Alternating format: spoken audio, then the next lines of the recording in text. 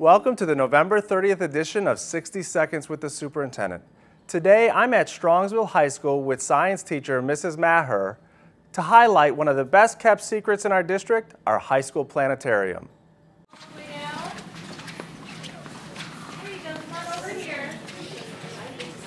The Strongsville High School Planetarium has been here since 1964. The planetarium is an integral part of our curriculum here in Strongsville City Schools. Um, all the fifth graders come through for a, a, presentation that has been specifically designed to fit their content standards. Um, we do a lot with seasons and planets.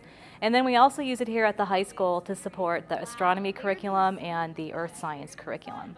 There are many other areas that we could incorporate um, with the planetarium and we hope to expand our offerings in the future and even open it up to some community programming. Well, I hope this episode has not only shown you a great program that we have at Strongsville High School, but also gained your interest in astronomy. Thanks for watching this week's episode and go make it a great Mustang week.